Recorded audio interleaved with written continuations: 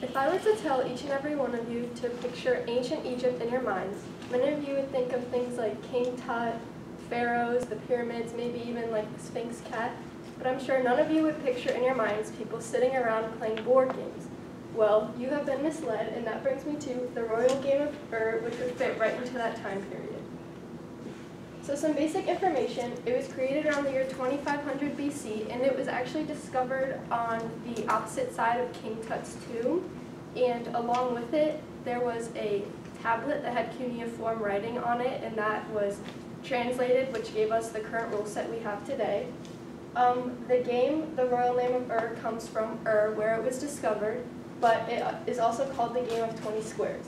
And so it was first published after 1922, which um, Sir Leonard Woolley discovered it in 1922, brought it to the British Museum, where it still is today, and it was published shortly after that. So the basic gameplay is that it is a racing game, and each player races to get their seven pieces across the board and off the board first.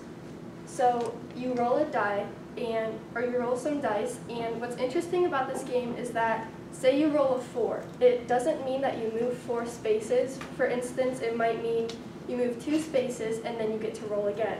And if you roll a two, that may mean that you miss your turn and don't get to move any pieces. And so there are some other rules where if you land on a square where another piece is, you start over, and you have to roll a certain number to even be able to move your piece in the first place.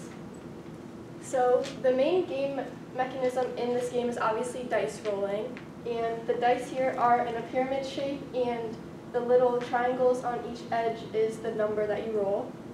And there are other parts of the game like piece movement and the starting over penalty that I mentioned. And so these are implemented in other games.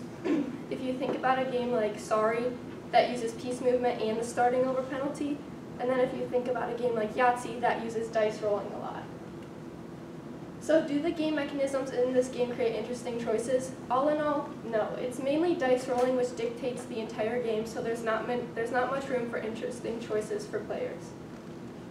And so there, over time, there hasn't been many like huge changes to the game, um, like theme changes or huge um, changes like that that you typically see with board games.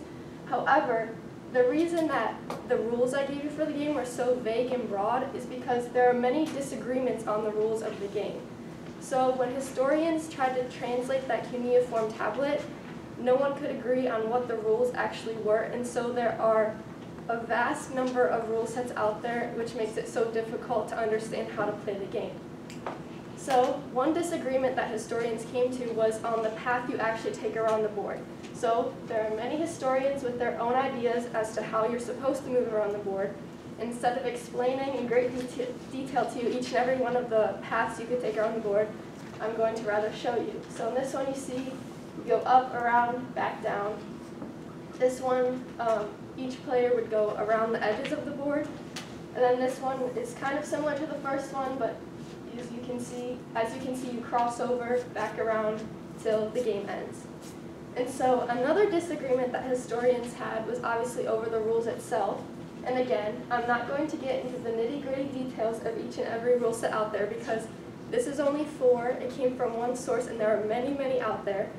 But um, some disagreements they had sorry, were just over what the dice rolls mean, what the different um, pieces on the board mean. So there are just many disagreements over that and it's hard to give a set rule set on this game because there are so many out there. So the original game was just a stone tablet. There would have been dice similar to the ones I showed you, and the modern game is more user-friendly, nicer looking, just to modernize the game. But there have been no major changes to game. So to conclude, the Royal Game of Ur was one of the earliest board games, and it paved the way to society, or it paved the way for um, board games in society, society today. And to end with a quote by Kyle Jenney, the Royal Game of Ur, or Game of 20 Squares, was unearthed in excavations in the 1920s and is considered one of the oldest complete board games. And so I just think that this quote really emphasizes the idea that there was such a simple board game like the Royal Game of Ur, when you think about how we've transitioned into the world of board games today, that's pretty amazing. Thank you.